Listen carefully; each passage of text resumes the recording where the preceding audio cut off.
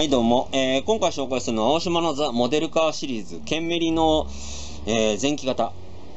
ん？前期型？あ、そうだな。前期、前期で合ってる。前期で合ってる。前期型です。あの、今までの青島のケンメリっていうのは、この 2000GTX のグリルのこのエンブレムが、こっち側についてたんですよね。なぜか。あれ、なんでなんだろうなってことをずっと思ってるんですけど、まあ、基本的には、キットとしては変われないので あの、グリルの周りがね、えっ、と、新規になってるってだけなので、ボディとかこの辺の紹介はちょっと割愛させてもらいます。バンパーとかこの辺のパーツも全部一緒ですね。で、個人的にちょっと興味津々になってたのは、あの、新規の185幅タイヤ。これです、このタイヤ。あの、今までのやつは、このホイールに合わせて、前後で太さが違ったんですよね。タイヤ、タイヤが。タイヤが前後で違ってて、で、まあ、要は、一応ノーマルっぽいホイールもついてたりとかするんですけど、これじゃあいじくったしようじゃんっていう感じだったんですけど、これね、タイヤがね、新しく細いタイヤになってるんですよね、これ。見えない。見えない。どこのメーカーとかちょっとわかんないですけど、で、えっ、ー、と、新規のグリルパーツですね。あれでもエンブレムの部品がないぞ。ん？どうなってんだ？で、ホイールもちゃんと細いものでできてますね。あとは全部一緒ですね。全部一緒ですね。デカールは、あ、エッチングパーツは、あ、エッチングパーツは前でしょうか。で、デカールと。あー、メーターデカールないのか。残念ながらメーターデカールは入ってませんね。メーターがあるといいんだけどな。まあ、モールドがあるね、あの、クリアのね、やつなので、ちょっと残念かな。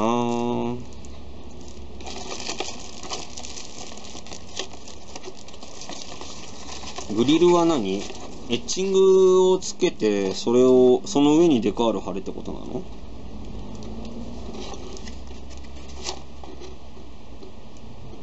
書いてない。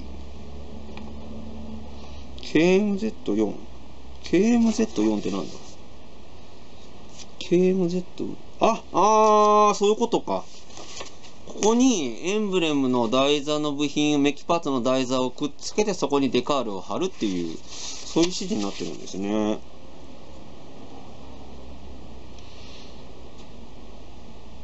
うん。あとは全部一緒ですねあとはもう見慣れた見慣れたねえ、っと、構成のあれですけどね。グリルと結局ホイールとかが変わっただけなので、うん、なっとこうか。